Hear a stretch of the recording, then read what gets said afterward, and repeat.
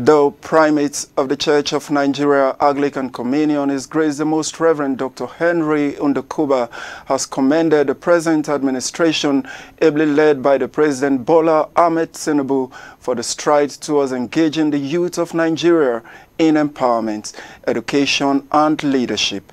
The primate added that without their involvement, there will be much agitation as the youth mostly populate the country Nigeria.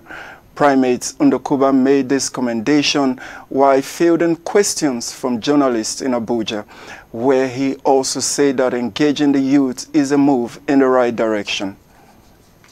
We thank God for that pronouncement and uh, move of the federal government to engage the youth. And that's what we have been desiring to see.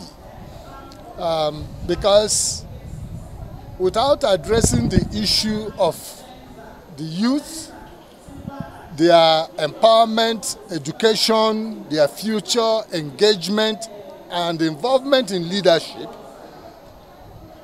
we will be giving room for unnecessary agitations, and uh, it's like sitting on a time bomb because Nigeria is greatly and mostly populated by the youth.